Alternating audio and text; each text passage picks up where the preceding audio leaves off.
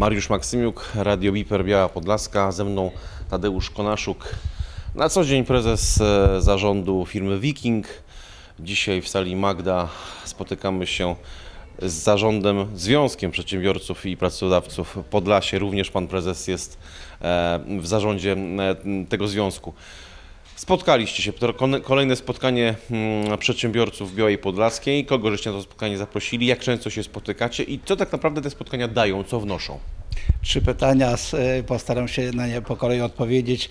E, Spotykamy się co kilka tygodni, co kilka miesięcy. E, Przedsiębiorcy z natury rzeczy chcą otwierać się na ludzi, chcą słuchać potrzeb, chcą odpowiadać na potrzeby. W związku z tym z najlepszą formułą są bezpośrednie spotkania, które niekoniecznie kończą się formule oficjalnej.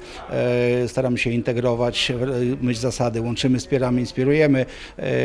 Staramy się inspirować współmieszkańców i przedsiębiorców, ale też e, osoby środowiska z innych e, branż, otoczenia biznesu do dzielenia się doświadczeniami, do spotykania się i wymieniania, wymieniania doświadczeniami własnymi.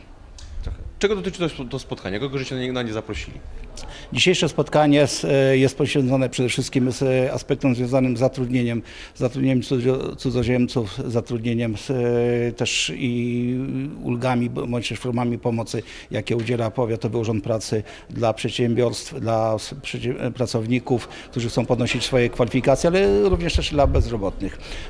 Na spotkaniu jest reprezentowana jest również służba graniczna, która wyjaśnia nam arkany związane z ograniczeniami, ale też regułami związanymi z z zatrudnieniem cudzoziemców. E, Gościmy też przedstawicieli z e, Bialskiej Akademii, Akademii Bialskiej, e, która będzie e, prezentowała też formuły e, kształcenia ustawicznego, dualnego. Przedsiębiorca to człowiek, który nie boi się e, nowych wyzwań, ale do tych nowych wyzwań potrzebuje wiedzę. Te spotkania są również taką, taką, e, mm, takim miejscem, gdzie tą wiedzę można otrzymać. Czy tak by określił Pan Prezes właśnie przedsiębiorcę, że przedsiębiorca to człowiek, który non-stop się uczy?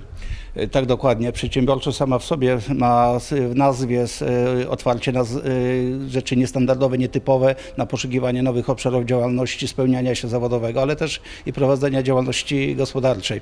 Ku temu potrzebne są spotkania, potrzebne są niezbędne są podnoszenie e, własnych kwalifikacji, ale też ciągle poszukiwanie, inspirowanie się, ale też i, i włączanie się w kanały z e, nowych technologii, e, nowych e, technologii komunikacji, nowych technologii produkcji, nowych kanałów dystrybucji. Świat się zmienia, świat przechodzi do sfery wirtualnej, do strefy informatycznej, do strefy cyfrowej. W związku z tym musimy ciągle być obecni i ciągle być w peletonie. Bez tego będziemy się cofali.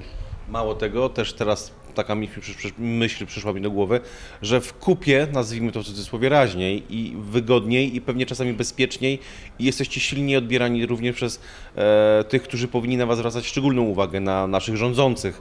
E, otoczenie biznesu obecnie odbiegając od tego, e, od polityki, ale to trudna branża i trudna, trudny kawałek chleba.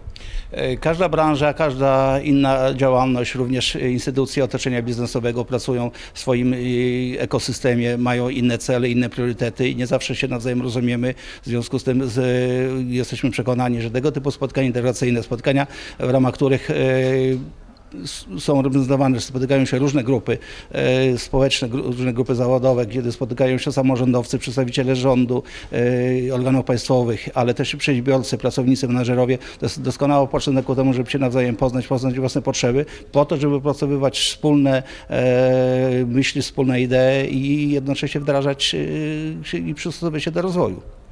Gdzie Was znaleźć? Czy stowarzyszenie jest otwarte na nowych członków? Związek jest absolutnie otwartą instytucją. Jesteśmy s- bardzo otwarci na wszelkie inicjatywy, czego dowodem jest to, że w dzisiejszym spotkaniu środowiskowym uczestniczą przedstawiciele innych firm, y, przedsiębiorcy niezorga- nie, nie, niezrzeszeni w naszej organizacji. Jesteśmy otwarci, bo jesteśmy dla ludzi, a nie dla związku, dla samej idei.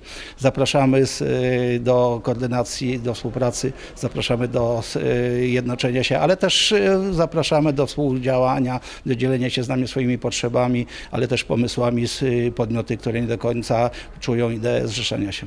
I tutaj nieważne jest, czy jest się na- naprawdę małym biznesmenem, małym przedsiębiorcą prowadzącym nawet jednoosobową, działalność gospodarczą, czy dużym potentatem. Duży podmiotaci kiedyś zaczynali też od zera. W związku z tym jesteśmy otwarci przede wszystkim na podmioty małe, na podmioty, y, które są niewielkie, na młodych przedsiębiorców, ludzi, którzy y, startują w biznesie. Właśnie dla nich chcemy służyć naszym doświadczeniem, dzielić się naszymi doświadczeniami, pokazywać, y, gdzie są przeszkody, gdzie można wijać raz w, związane z trudnościami i skomplikowanym y, prowadzeniem działalności gospodarczej.